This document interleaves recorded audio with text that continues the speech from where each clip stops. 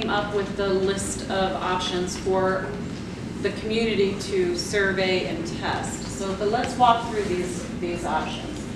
So certainly, um, if you received the uh, flyer in the mail, we listed some of these, uh, well, we listed all of them, so that you had a visual, um, it's a quick little flyer, there was also a letter that tried to give you more information, because I know some folks are more flyer oriented and some want a little bit more detail. So I'll be going through those. Um, So this improvement, about $508,000 would go towards uh, the American Disabilities Act and bringing our parks such as Arrowhead, which is out of the Indian Hills near Parmalee. We've hear- heard from those constituents out there that there's not much out there for them, and they do use that park regularly. Um, So we would be looking at some enhancements to that Arrowhead Park, also looking at a multi-use court, so kids, families, grandparents can go, and there's a nice little trail system, there's a new playground, um, but really to enhance that, that area. Kittredge Park as well as Wulf Park. We have a. Oh, I'm sorry, quick question. Uh, The school charges for the uh, uh, rent for the uh, property that Wulf Recreation Center is on, is there a charge from No, there's not a charge. Okay. Thank you. Uh-huh. So that is one of the improvements, but certainly it's going to be district-wide. It's not just one park. We're trying to enhance three different parks that we know are heavily utilized. Next, that's our Evergreen Lake. That's the North Trail section uh, that goes along 74, starting from the dam down to the, I call it the Fisherman Parking Lot, where you cross over. That was the trail section that was closed um, due to bin wall failures. The the bin walls that were holding that trail basically dis- started disintegrating. Good news is our parks team, along with lots of studying, um, We have a short-term fix that we're hoping will hold up. Um, We're monitoring it closely, but we're hoping to get at least two to three years for that short-term fix, but it's only a short-term fix. Yes, I'm sorry. Is it, is the trail contingent on, my understanding is the highway's not totally fixed in the, uh, uh, water drainage that was under from the flood. Are you guys dependent on, uh, CDOT? We are working, CDOT is one of our stakeholders. We're in, in the phase two of that North Lake Trail. We just had a community meeting last Thursday about it, but CDOT is well informed as far as how can they help us with this Are you guys project. kind of stuck until they totally, uh, mitigate all the damage?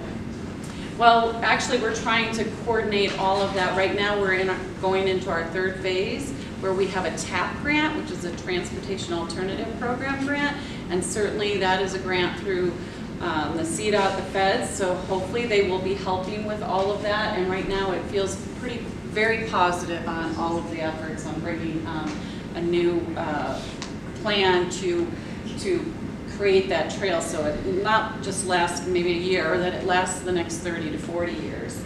Um, But the ticket is, that number, $3 million, it's a heavy one. It's still being under review, so we're still trying to figure out what that cost might be. So- Have you participated uh, in meetings with CDOT on the funding proposals? CDOT is at the table, so they all, everyone knows about this trail. Everywhere from your county commissioners to your state to, uh, Did they, by any chance, did they talk about the programs that are available to fund that? yes, yes. Did they talk about an enhancement program? They've talked about other grants that come into play, but, Okay, yeah. right. and grants that we are eligible for, but we have received over $400,000 in grants to do the design, the study, and what could be built, and how much it's going to cost. Um, Adding a gym at Buchanan Rec Center. Um, We gave um, some options to the t- Citizens Task Force. They came up on the three cross-course, eight hoops, about 1,800 square feet, as well as a walking, jogging track. I've heard that, I think, regularly. We do have a lot of walkers in this community. Certainly, people like to walk outside, but when the weather is not, um, that would just provide a nice new amenity. Excuse me. Um, Sorry. You know, when that survey was written, I questioned the the guy that did the survey. It said, would you like a walking track? And, and there was a huge percentage said yes. Would you like a gymnasium? lot, lot less. So I asked, I said, do you know you have to have those together? And there's two things that have to be together. You have to have the gym in order to have the walking path. But most people wanted the walking path, but not necessarily the gym. So how do you rectify that in your mind? Well, I think if you're gonna build the gym, you, should do the walking trail, and that's just my opinion, Well, I but so know that that. we, yeah. But So, if you want a walking track without the gym, how do you justify that? I'm not sure, to be honest with you. I think you, we need to look at that if people are only willing to pay for a jogging track. It, it, it takes up a large amount of space, so it feels kind of like a void. And it was a Um, walking track, not a running track before. And now it's a walking, running, because if you, if you've ever been in a gym where there's walking and running, I have. you can't walk, really, because the, the runners are going by. So, anyway. Yeah. I, I just, Good point. I disagree with that. I mean, I, I've used facilities where there's walking, running tracks, and it's, it's perfectly fine.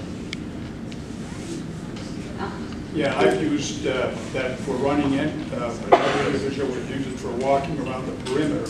It didn't appear to be a problem. Okay. All right, good, good comments. Um, adding the fitness area, we're looking at about or eight hundred thousand dollars. It would be moved from downstairs up to the upper level, kind of where the current offices are.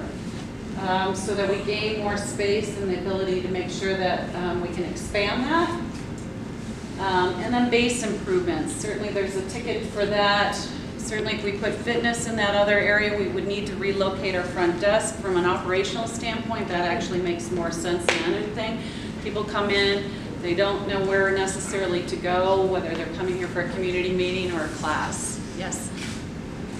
Okay, I'm sorry, I've got one hand up there. Go back to the trail for one second. Okay. The three million dollar, you don't have to show it. The- Okay. The three million dollars, is that to make a permanent fix to that trail? Or is it to make a permanent fix plus a bunch of improvements someplace? It's to make a permanent fix to the trail. Just, the- just permanent fix? permanent fix. They're exploring, you know, what the community has told us is many of them do not like to walk on that trail. We Yeah. need to, the other piece is there's a water line, your wa, main water line is sitting underneath that I know trail. They go one and one, Yeah. or one and two. Um, so we have, the trail is used to help protect the water line, and then the, the trail is being used for multi-users. Yeah. So it would be a permanent fix to this trail To this section. Does that include the Yes. highway? Does that include the highway getting fixed? 'Cause It does not include the highway, I mean, but there's, you know, ideas like a curb and gutter to help with the drainage and giving us more, um, uh, space on the trail so that we could have a, kind of a multi-use from, because ten feet is kind of a number that's been given. You know, you're, you're kind of okay on the west end, but as you go down towards the dam, it gets tighter, and then you have ADA constraints and those types of things that they're still navigating. Okay, I'm not sure whose hand went up first, but I'm gonna go this way. Do we own the trail land or is it? No, the, the, the land is owned by Denver, and even the road in which the road was built is owned by Denver. Um, Denver, or CDOT has the, the rights to have the, tr- the road there, and we have the rights to have the trail there as well as Is water. it expired anytime of the lease? No, Yeah, that, I mean, everyone here is aware of the fact that, uh, as over the last few years, everybody in Denver seems to have found all, all of our trails. My question is, why do we have to pay higher taxes for any trails than people from Denver?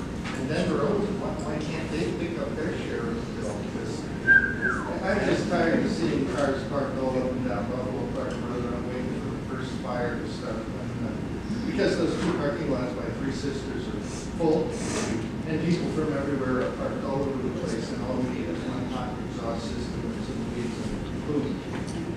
That's a Jeff space issue, but I'm still concerned about why do we have to carry the burden on that? right. And, No, uh, this, this is one of the things we argue a lot with the, because it, it's erosion under growth.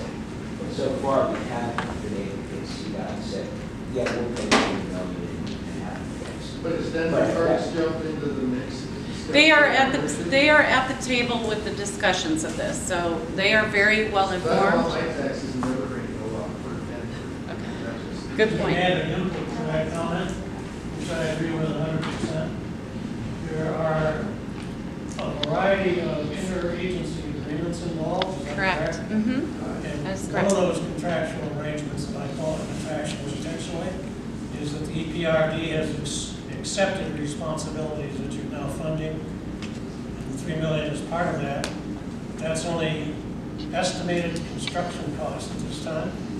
That's correct. We all know that there's been plenty of grant money coming in, and there will be more. And in addition to that, you have the additional costs of administration, and increased maintenance, and other factors. So that three million may be a low ball. Okay. Al? Uh, A couple of points. Uh, 74 is a state highway, Denver doesn't own it. There are programs. Yes, they actually own all the land underneath there. They do? They do. Boy, that'd be interesting. Uh, CDOT has programs, enhancement programs, that help fund those trails. That's what I was wondering if you knew anything about it. Yes, so, you know, certainly our intentions as EPRD, because we are charged with managing. Just so everybody knows, the trail and the water line is an IGA with the Metro, Evergreen Metro District and Evergreen Park and Rec District. Denver has allowed us to have an IGA, but that was for the purpose, EPRD built the trail. You, we paid, used taxpayers' dollars thirty-some years ago to use taxpayers' dollars to build this trail. This trail is failing now. Um, And Denver is at the table. We're trying to certainly make sure we're aligning the design, because Denver would have to sign off on any design that we have and, and making sure that we're having funding for. I- I'm I'm gonna have to find out about that. When I was working with, uh, I helped, I was one of the consulting managers for the intersection. We had nothing to do with Denver. It was just state and federal. So I'm curious how Denver got. So if you have trail questions, like I said, we had a very good community meeting. We're gonna be getting information on specific for this site and the what's proposed. Uh, is everybody comfortable with me moving forward?